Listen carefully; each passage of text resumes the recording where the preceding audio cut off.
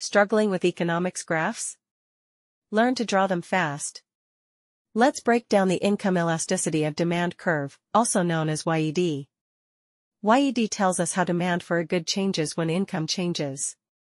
The value can be positive or negative, and it helps us classify goods into luxury, necessity, or inferior. Necessities have a YED between 0 and 1. As income rises, demand increases too, but less proportionally. The curve is upward sloping. Luxury goods have a YED above 1.